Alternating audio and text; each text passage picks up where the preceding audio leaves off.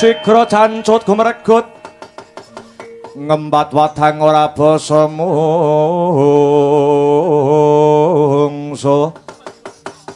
tangkep jojo kantaran bau sanyakti ong. Dengolena prapteng lampu sirna madyaning pak lugon sirna madyaning balugon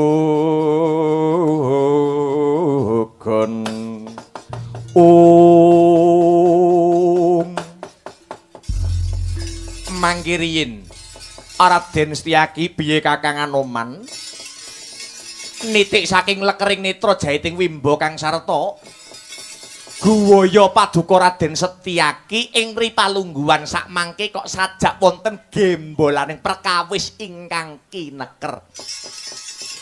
Menawi keni winedar ing akata sumangga Raden Raden Setyaki kula aturi ambabar pangandikan wonten perkawis menapa kok semunipun ngene Kakang Anoman. Ing ripalungguhan sak mengko ora ana sing tak pikir nanging aku nampa dawuh saka Koko Prabu ing Dwarawati Koko Prabu Sri Bathara Kresna. Kinen goleki ya kuwi murcane utawa ilange Atma Jendra negara Ndwarawati putrane Koko Prabu Sri Bathara Kresna ya kuwi Raden Samba Wisnubrata.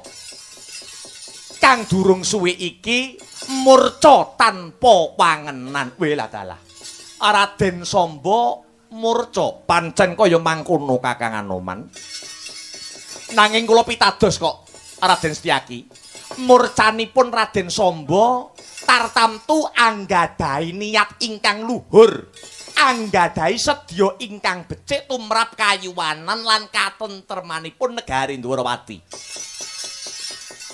Nanging Kakang Anoman sing tak kuwatirke Samba kuwi durung cukup umur Samba iki isih bocah nom isih miyar-miyur durung jejeg sing dadi adek-adeke Kakang Anoman Sampun, mboten usah wasu melang Raden slendro ingkang raos, slendro ingkang batos.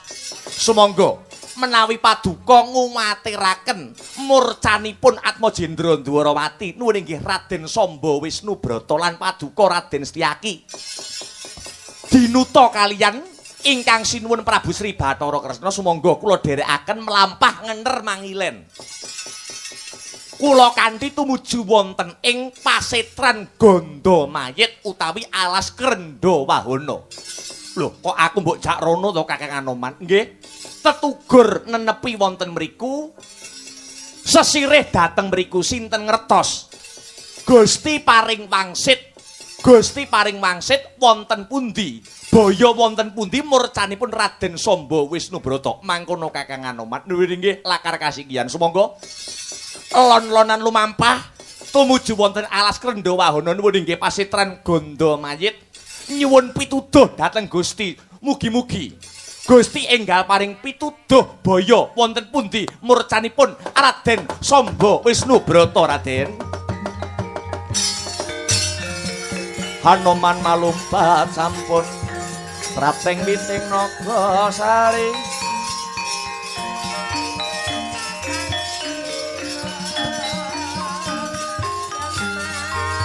Mulat mangan jagat tinggal manut jayuk uruwaking kelong rusak mor lan kesmo ong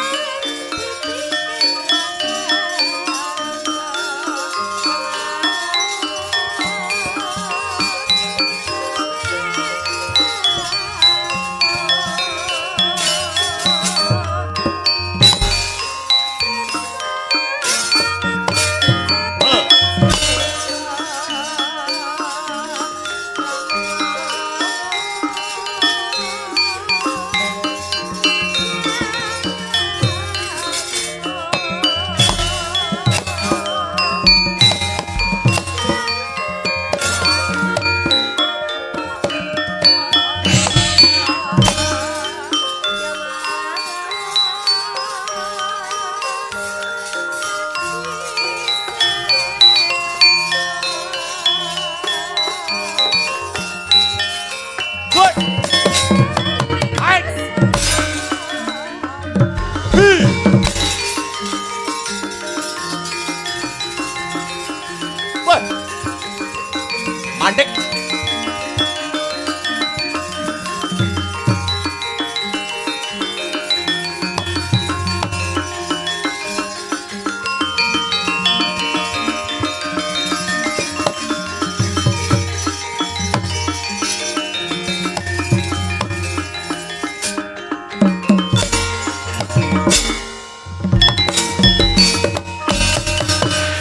Handedel gayuh gegono. Risang ramandaya patyana yaksa gung kang krama. Namane wil katak sini jejaki jroning mare oh mbadha kolam tanpa tuwa. Mina-mina trodalatri mila gugu saben ari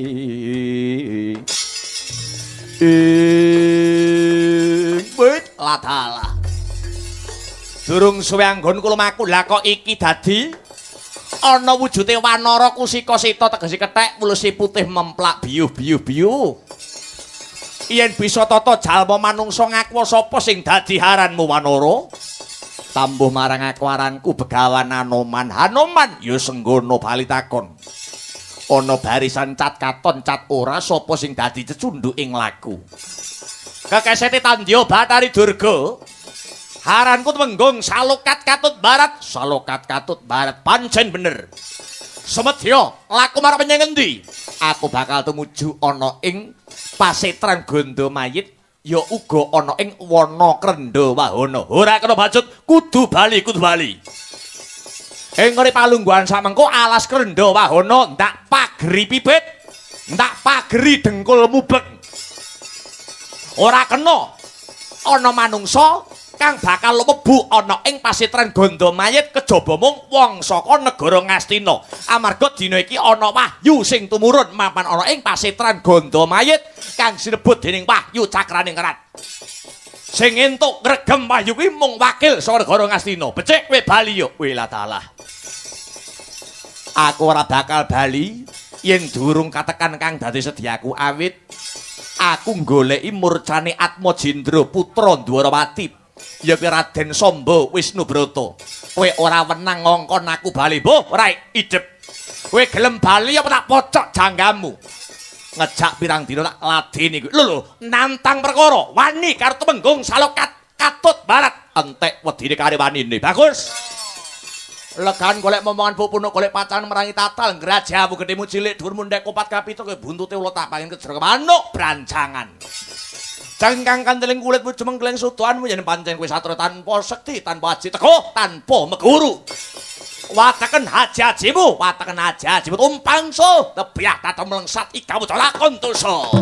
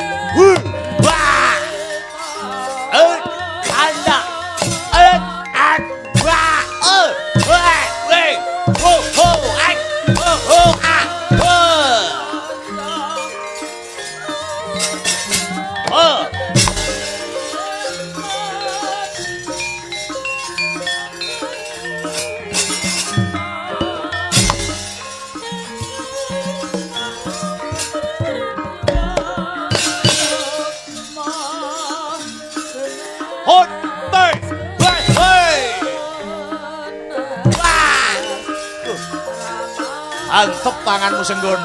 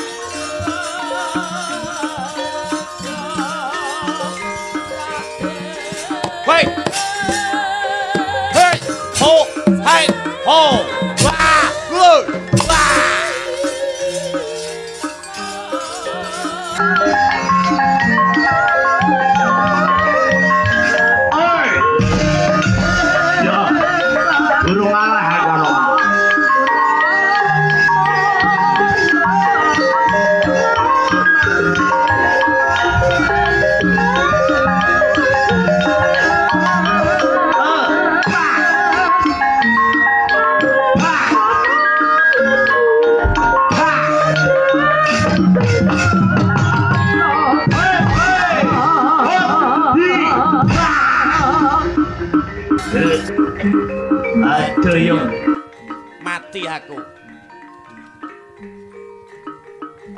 Hot hes. Oh he he ha ha ha. Oh he oh ha hot oi ha. Oi oi ha oi waya waya wah. Ayo maju lihat nih.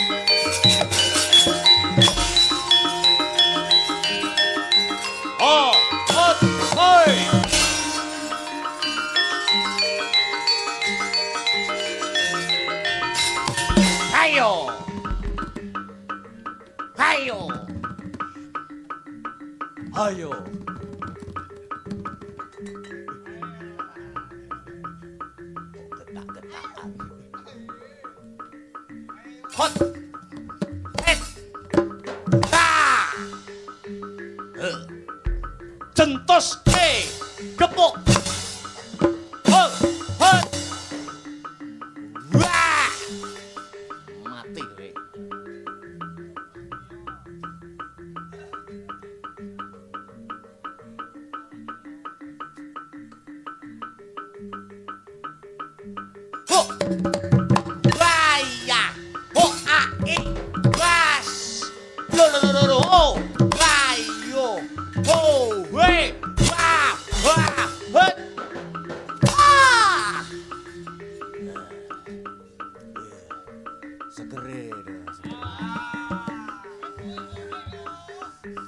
What?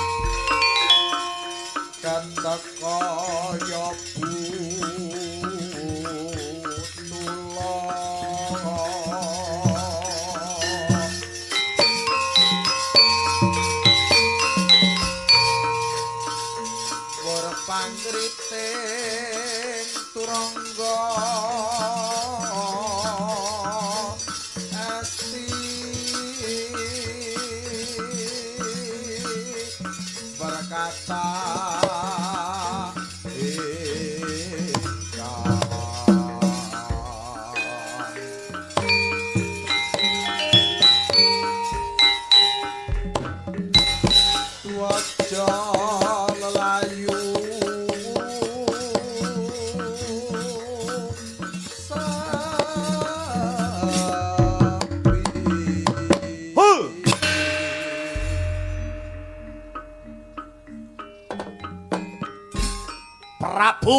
Hindu Prasto kang bakal magut ana ing pupuh.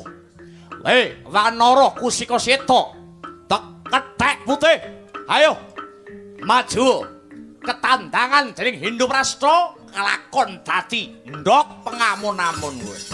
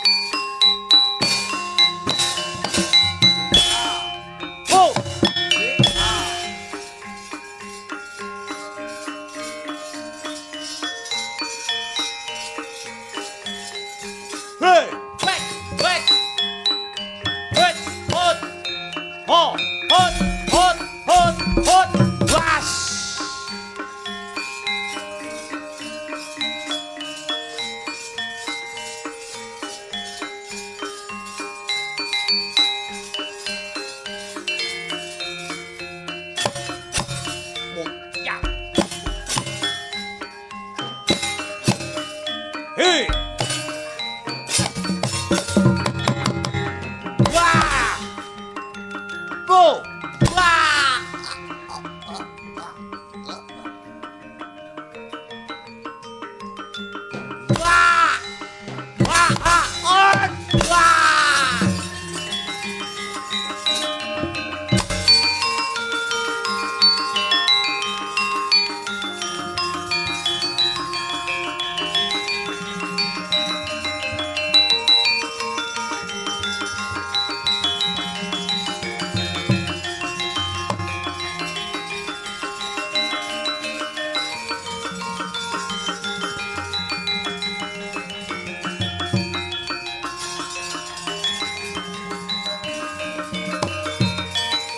Hey.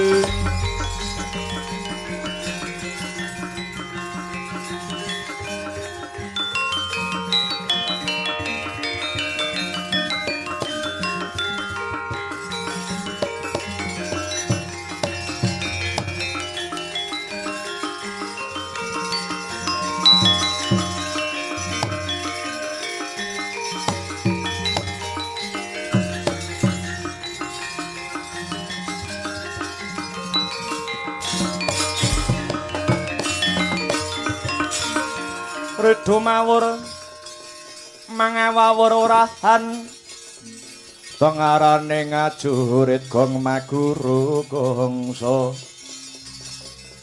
Tata kaya butula wara panjriting turang gestim yemang dwaja kang kekitir. Ora kata ingkang dwaja.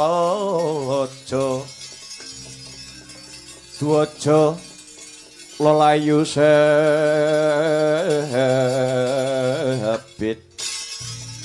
ing